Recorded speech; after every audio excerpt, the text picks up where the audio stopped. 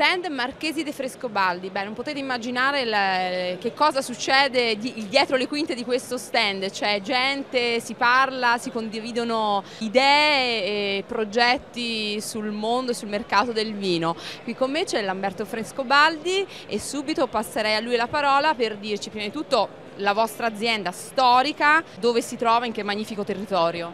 Le nostre radici sono fiorentine, quindi abbiamo, vorrei dire, due aziende storiche nel territorio fiorentino che sono Pomino e Nipozzano, poi ci sono anche tutte le aziende che sono nel centro-sud, quindi Montalcino con Castelgiocondo, poi sulla costa eh, con un'acquisizione bellissima che è stata Ornellaia ormai nove anni fa, poi giù in Maremma eh, l'ammiraglia che è una cosa nuova che stiamo per presentare ma è nuova per modo di dire perché ormai siamo lì dal 99, sono già passati 12 anni che siamo lì. A proposito di Nipozzano, abbiamo qui una bella bottiglia, che cosa ci racconta di questo vino? Beh, Nipozzano è un po' il vino che io vorrei dire che un, ci rappresenta, il vino beh, sicuramente a me perché io sono cresciuto lì, ehm, eh, ho, passato, ho, passato, i miei primi anni proprio da, da ragazzino eh, appassionandomi nelle, nelle, vigne, in cantina. Nipozzano è un posto a est di Firenze, sono, siamo nel comune di Pelago. Eh, Nipozzano tra l'altro vuol dire Nipozzano senza pozzi, una zona piuttosto arida e eh, estremamente qualitativa per fare un bel sangiovese. Ecco, Frescobaldi come azienda, come si pone di fronte all'importanza della comunicazione nel settore del vino? Beh, comunicare è molto importante, nei secoli è sempre stato importante, prima si comunicava facendo i quadri, ora si comunica in tanti modi diversi. Oggigiorno la comunicazione può passare attraverso internet, attraverso eh, una televisione, però si sta anche rivalutando molto la radio. La radio è un, è un bellissimo strumento che sempre più le persone ascoltano, penso che tenga più compagnia la radio che tanti altri strumenti. Assolutamente sì, quindi possiamo sfatare l'idea che il mondo della tradizione vitivinicola non può avvicinarsi a un metodo di comunicazione più innovativo. In realtà però essere, essere tradizionali eh, per, una, poi per una famiglia o per un'azienda che ha della storia dietro di sé non è esattamente essere tradizionali, è essere innovativi perché se non si è mai innovativi eh, il mondo è severo, si sparisce e quindi un po' di sana innovazione. Poi chi non fa, come si dice, me l'ha sempre detto mio padre, chi non fa non falla e, e allora bisogna, bisogna provare. Diciamo, anche la tradizione, anche i grandi devono in qualche modo adeguarsi anche alle nuove metodologie della comunicazione. Assolutamente, che siano aziende più grandi, meno grandi, ehm, tutti devono, eh, devono, trovare un loro equilibrio nel comunicare il, quello che fanno, perché oggigiorno il consumatore è eh, veramente c'è tantissima offerta, viene bombardato da tantissime cose.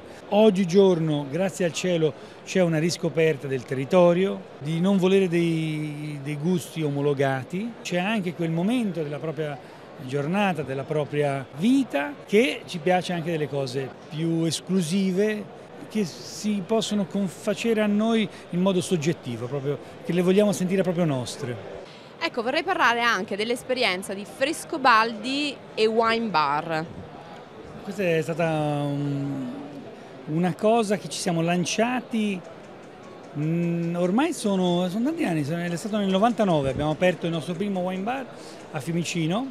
Eh, mia sorella Diana è stata con lei ed è ancora con lei che segue i nostri wine bar, che ne abbiamo tre adesso in aeroporto e poi abbiamo anche un ristorante a Firenze e uno a Harrods a Londra.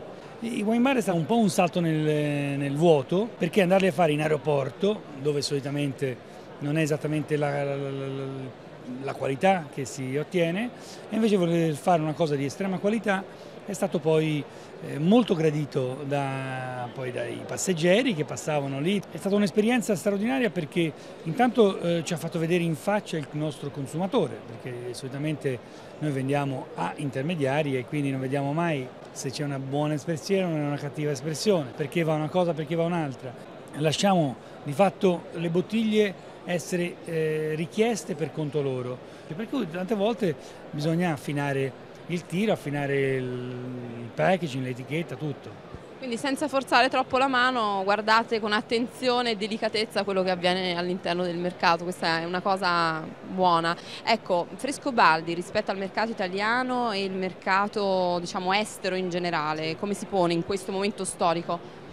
Eh, per noi il mercato italiano è pur sempre il nostro primo mercato, è fondamentale per noi voler essere qui, vogliamo svilupparlo sempre di più e ehm, poi l'estero sono tante più persone e quindi per noi il lavoro all'estero è il 60-65% del nostro giro d'affari, però l'Italia come, come, singolo mercato è il, il più importante. Ci stiamo impegnando molto, abbiamo ultimamente fatto anche una campagna stampa di comunicazione su, sia su carta stampata che sulla radio proprio per sviluppare sempre di più il, eh, questo mercato qui, cui crediamo molto, crediamo che quando uno straniero beve una nostra bottiglia in, in Giappone o in, eh, o in California o non so dove, poi deve anche poter tornare qui in Italia e trovarla. E quindi questo qui è assolutamente da presidiare, ci mettiamo grande, eh, grande impegno.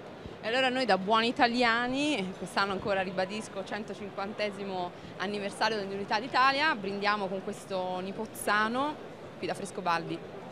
Grazie.